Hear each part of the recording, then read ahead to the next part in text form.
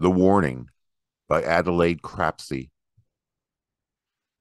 Just now, out of the strange, still dusk, as strange as still, a white moth flew. Why am I grown so cold